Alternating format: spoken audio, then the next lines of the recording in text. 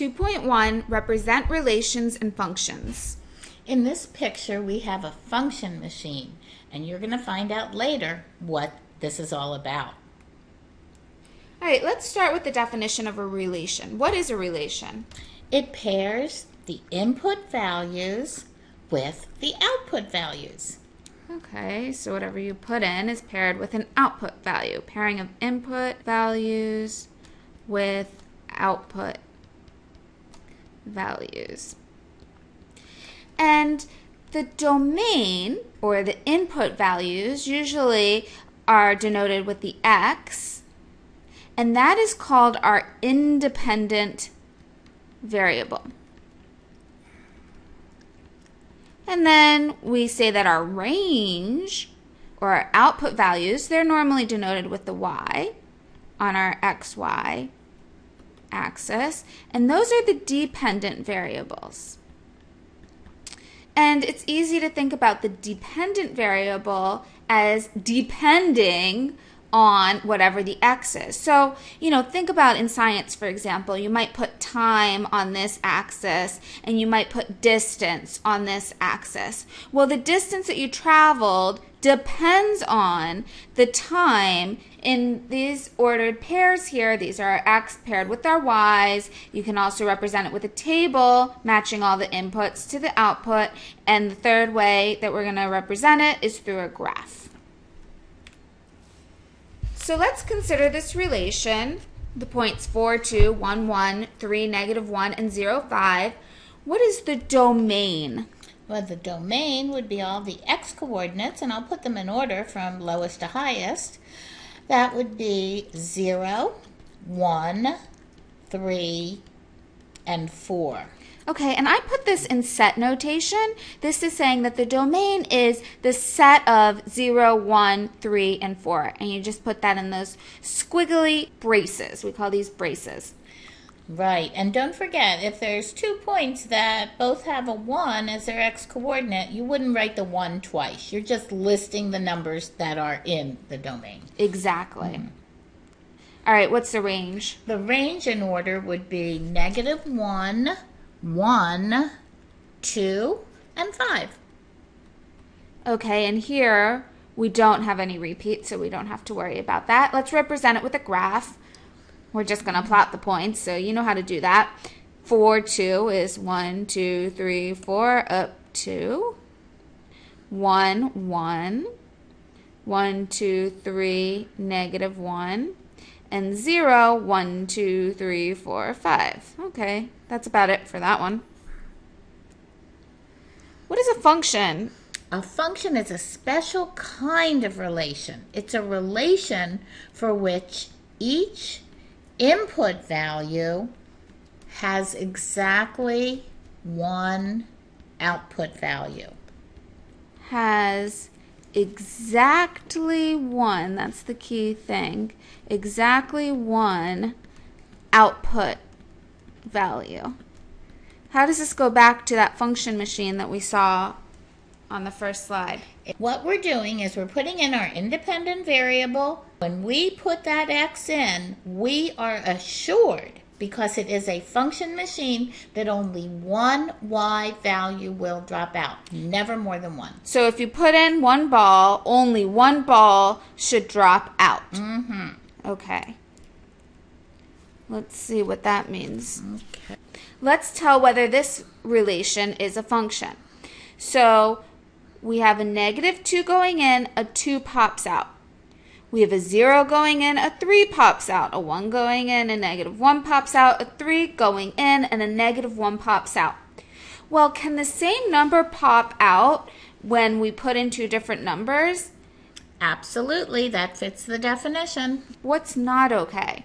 Aha! Let's look at this one. The negative 2 gives us a negative 2.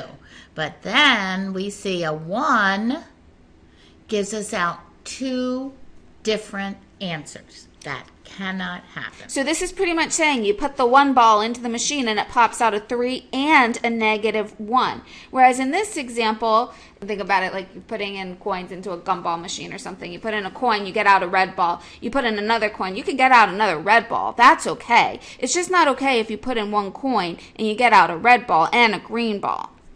So that's no. Another way that we can tell whether or not a relation is actually a function is by the vertical line test. If it passes the vertical line test, meaning that you run a vertical line through the graph and it only hits everywhere at one point, never more than one point, then this is a function. However, if my vertical line ever hits more than once, then no, it is not a function. And again, in this example, you can see you put in a certain x value, you have two different y's assigned to the same x value. Exactly. This x value pops out two different y values. All right, y equals 2x minus 3. What is the x? The independent variable. That's our independent variable. And our y? the dependent variable. Because it depends on what x you put in. Depending on what x you put in, a different y will pop out. So it depends on.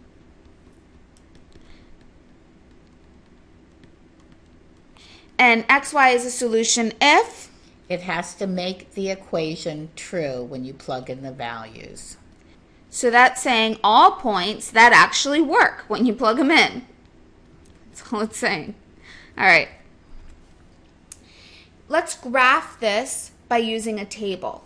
First of all, let's choose our x values wisely. And by that, I mean we don't really want to deal with fractions here. So good numbers to choose for x might be, all right, let's do 0. What else would be a good one so that we didn't have a fraction?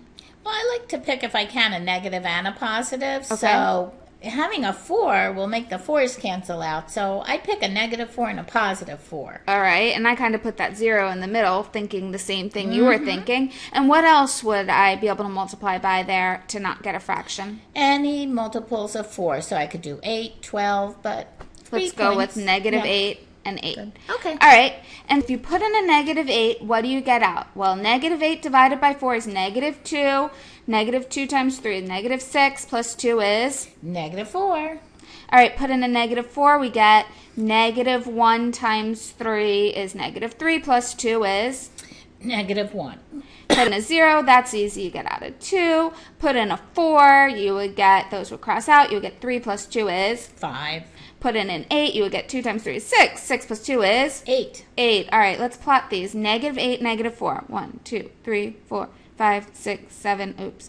8, 1, 2, negative 4. 1, 2, 3, 4. Negative 1, 0, 2.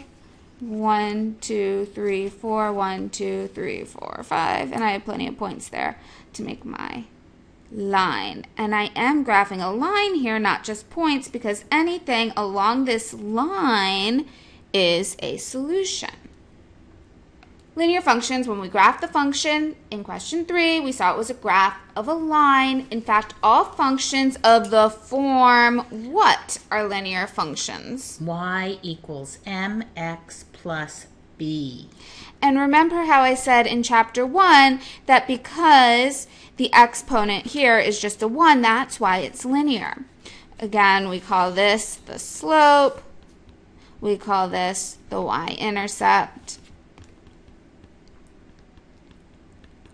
And any equation of the line can be written in y equals mx plus b form. And, and we should also say that if we want to write this in function notation, we should say f of x instead of y. So f of x equals mx plus b.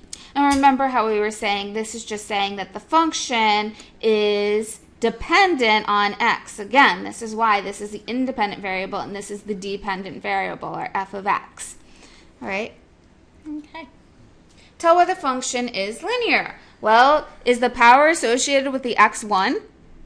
Nope, it isn't. So, nope, it's not linear. How about this one? It is. Question five. The length L in inches that a spring stretches when a weight up to 20 pounds is attached is given by L of W, W is our independent variable, equals 1 12th W plus 2, where W is the weight in pounds. What is the domain of the function? That means what are the possible X, or in this example, W values? and that is the domain. W or the weight in pounds would be the domain of the function. And in this particular problem, um, you can only have a weight up to 20 pounds. Therefore, the domain would be from 0, not including 0, up through 20, including 20. Okay, because our weight can't be 0 and it's got to be less than or equal to 20. What is the range of the function? The range would be all the values we could get out. So those would be and they the will- length, in inches. in inches. So we won't get a 2 because that means that we didn't put any weight. So let's let me just write it out here. B. So the smallest possible W we could have had was zero. If W equals 0 okay, that's saying that we're doing L of zero. That would be 1 12th times 0 plus 2, which equals 2. So that's the smallest it could be, not including because we didn't include 0 less than L, which is less than, and the biggest possible one we could have is if W was equal to 20. I don't even need to write that because I could just write L of 20, and that equals 1 12th times 20 plus 2, which is equal to 11 thirds. 11 thirds. So our length is somewhere between 2 and 11 thirds. What is the length of the spring when a 10 pound weight is attached? So that would be finding L of 10. And that's just going to be 1 12th times 10 plus 2. 10 twelfths is 5 sixths plus 2. So that's just going to be 2 and 5 6 inches. And that's it for this lesson. Bye.